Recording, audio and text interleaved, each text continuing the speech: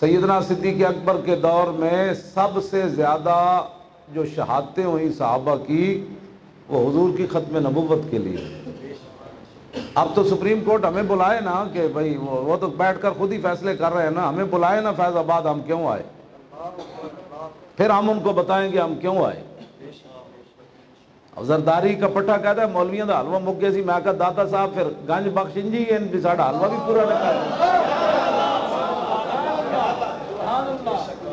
داتا صاحب، تو میرا میرا پیٹ اتنا بڑا ہو گیا سی بھائی، میں نے فیض آباد تو پہلے حلوہ ہی نہیں ملے۔ یہ کوئی باتیں تو نہیں نا جو تم کر رہے ہو۔ پیڑا اور تے پھکیاں اور، ان تے نہیں نا۔ اصل مسئلہ یہ تھا کہ یہ یہود و نصارہ سے صداگری کر چکے تھے۔ اس کو عزیز مصر کو بھی خواب آیا۔ اور اس کو جب خواب آیا تو اس نے اپنے سارے اپنے بندے بلائے، وہ کہنے لگا، میں نے خواب دیکھا ہے۔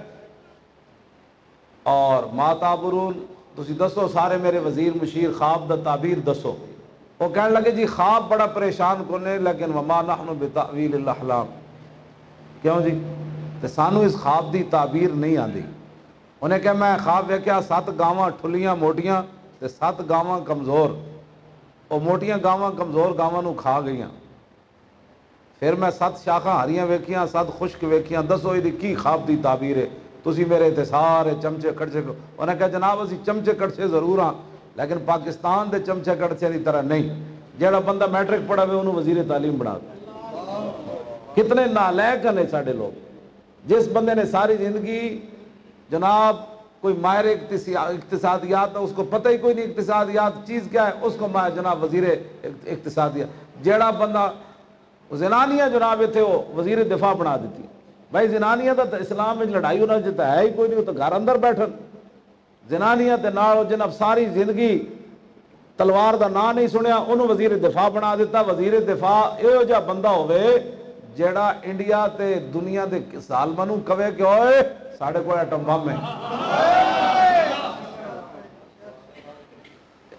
انہاں کیا جناب اسی تے کوئی نہیں مائر اس ویلے پھر وہ جو دو قیدی سن نا، جڑے آپ جناب یوسف علیہ السلام قیدی سن، دیکھنے کہ سی میں شراب نچوڑ رہا دوسرا کہندا سی میں جا رہا تے پردے میری روٹیاں سر تو نوچ کے لے جا رہے ہیں۔ آپ نے فرمایا جڑا شراب نچوڑ رہا نا، یہ تو بادشاہ دا چمچہ بن جائے گا دوبارہ۔ تے جنہوں پرندے روٹیاں کھا رہا ایسا انہوں پھانسی لگ جائے گی۔ اس وقال اللذی نجا منہما ودکر بعد امت انا انبئکم۔ اس ویلے انہوں یاد آیا۔ یوسف علیہ السلام فرمایا سی جدو رہا ہو کے جا رہے سی۔ فرمایا، یار، عزیز مصر نو جا کے کمی ایک بے گناہ قیدی بھی موجود ہے۔ ہن جڑی میں گل کرن لگا نا وہ اے وے کہ 50 لاکھ گھر دا تو سنگے بنیاد تے رکھ دیتا، تیرے کو چار ارب روپے ڈیم واسطے کوئی نہیں۔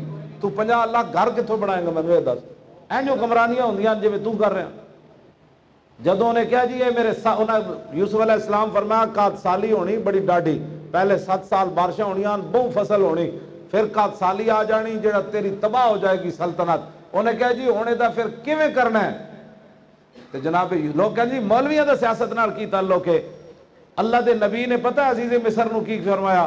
اے تیرواں سپارہ اگے شروع ہو گیا کہ وما ابرئ نفسی ان النفس لمارتم بالسوء الا ما رحم ربی، ان ربی غفور الرحیم۔ وقال الملك اوتوني بي استخلص لنفسي فلما كلمه قال انك اليوم لدينا مكين قال اجعل لي على خزائن الارض، انی حفیظ علیم۔